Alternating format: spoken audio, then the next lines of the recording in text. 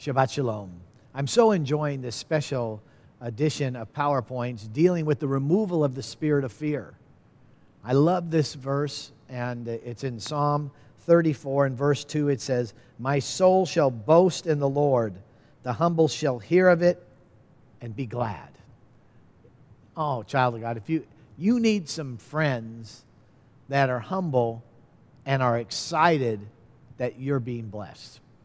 I, I, I don't know how to impart this to you, but you need a few people around you that, you know what, you could pick up that phone and say, you know, today I prayed for this person in the parking lot. It was a small thing, but I could tell that their back was bothering them. And I helped take their groceries and put it in the car. And then that opened the door, and I said, Can I pray? And I just laid hands on their back, and God healed them. You need somebody that's just going to go, Yes! You know, you don't have to be Reinhard Bonnke, and yes, I have 55 million souls in Africa. No, that, you need somebody. You need a cheerleader. You need somebody that will be glad. You need somebody that's going to be happy for you because in the baby steps, you need to step out. See, if you were bound by the fear that you had a couple weeks ago, you'd have never gone into that parking lot situation. You would have thought, oh, this and that. But you know that the, the glory of God is around you. His shield is around you as a buckler. His word is in you, and it's a guarantee it's going to perform and heal that person. So I'm going to encourage you to step out.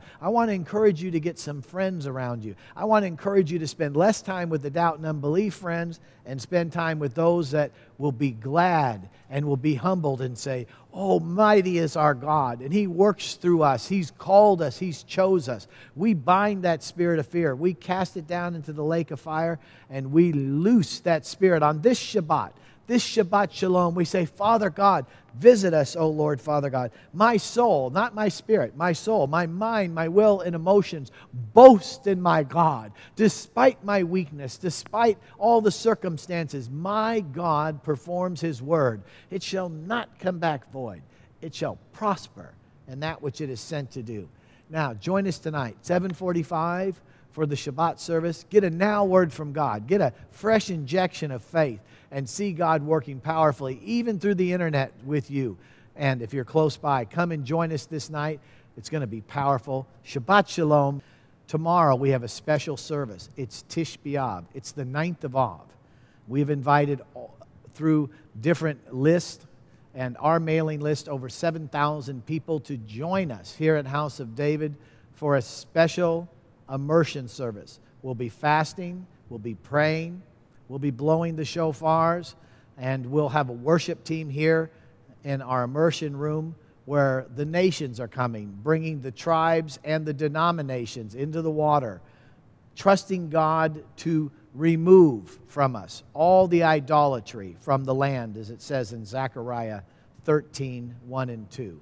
That out of house of David, that this fountain has been opened to remove us from the uncleanness, things we don't know about, things that we need to carry our denominations into the water. We need to be carrying our ethnos, our nations, into the water.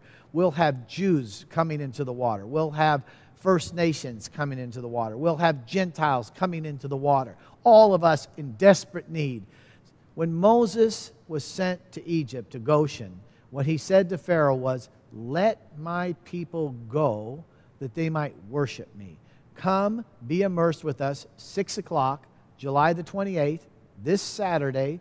Bring some dark swimwear with you, couple of towels. Bring some people with you. You need to come early, and let's immerse into a new nation.